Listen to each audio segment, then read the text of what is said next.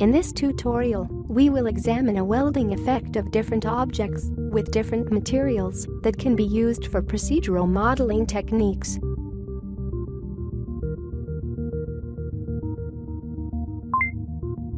The basic actions can be demonstrated on a simple cube. Later we will apply the same technique on more complex geometry. Acceptable results can be achieved if we will increase the number of segments.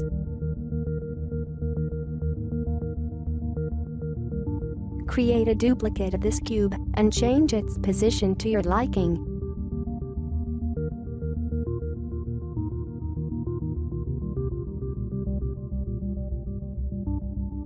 Now it's time to union these two objects by utilizing a Boolean generator.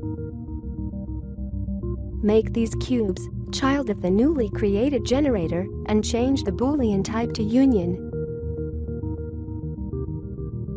We can apply welding effect by utilizing smoothing deformer. Place the deformer after these cubes and change its stiffness value to your liking. As you can see, smoothing deformer has no influence over the intersecting polygons. This is because our cubes are two separated objects.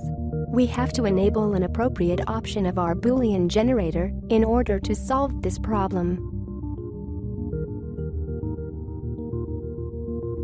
Note if you change the position of these cubes, the Boolean generator will create many unnecessary edges that will cause some shading artifacts.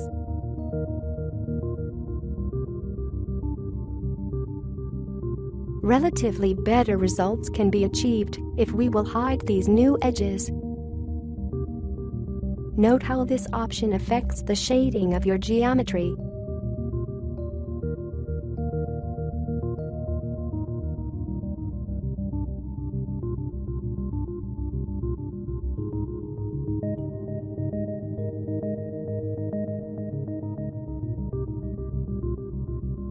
It is worth mentioning that the Boolean generator creates a hidden selection tag by enabling select intersection option. That can be used in combination with bevel deformer. Simply write the name into selection field in order to apply bevel effect only to the intersecting edges and place it instead of smoothing deformer.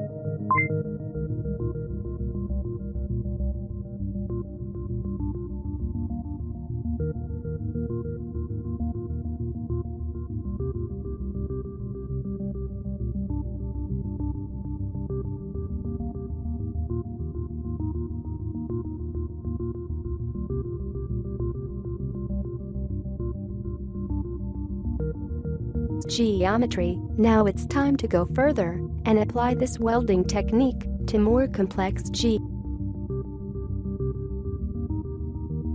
In this example, we will be using a simple torus. But you can use any object and change its settings to your liking.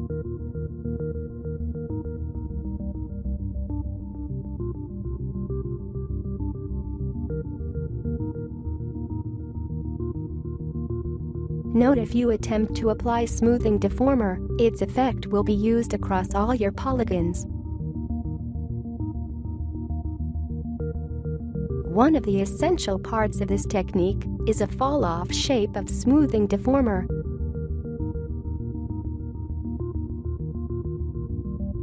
We have to match the coordinates of smoothing deformer with the torus object in order to restrict the influence only to its surface. This task can be easily accomplished by utilizing Transfer tool. Drag and drop your torus into the transfer field and press the apply button to match its position very precisely. Now you are able to select both of these objects and change their coordinates to your liking.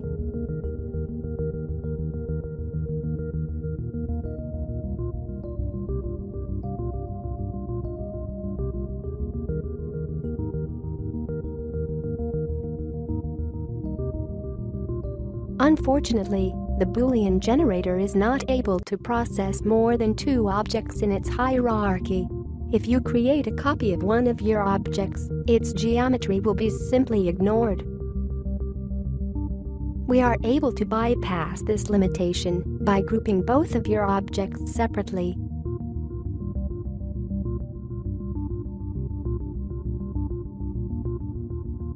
Now you are able to duplicate any of these objects and connect its geometry with another one.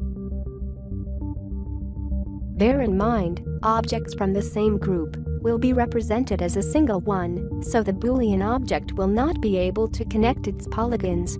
You have to simply drag and drop the desired object into another group. This will specify that the object is a part of another geometry, so the Boolean generator will be able to connect these polygons with objects from another group. You probably guessed that this limitation does not apply to your deformers. We are able to use as many deformers as we want, as well as use any number of different fall-off shapes.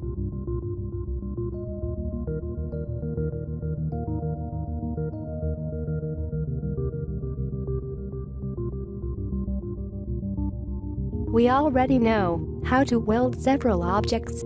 But what if we want to blend their materials and keep their procedural features? This task can be easily accomplished by utilizing proximal shader that is based on distance dependencies. Drag and drop desired geometry into the object's field. We will be able to see its effect only during the rendering process.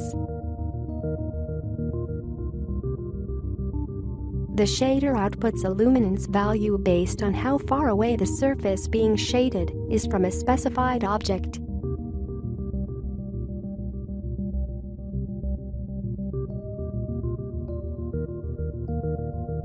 We have to retrieve information from edges and vertices instead of object center.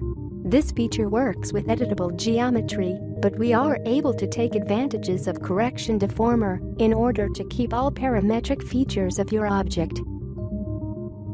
Make the deformer child of a torus and drop it into the object's field. This specifies that we will be using edges and vertices of our geometry without making it editable, and the torus object is no longer necessary. We can simply select it and delete. Right now, the effect is too strong. We have to decrease the end distance value in order to get more appropriate results.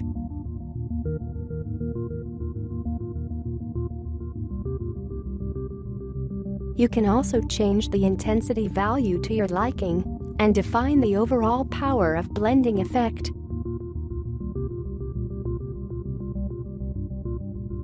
Now it's time to remap these colors by utilizing Colorizer Shader.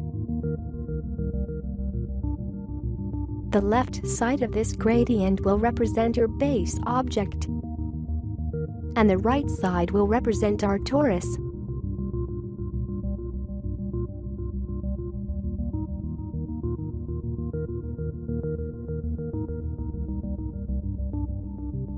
As you can see, we are able to efficiently weld different objects with different materials by utilizing Boolean generator in combination with smoothing deformer and proximal shader.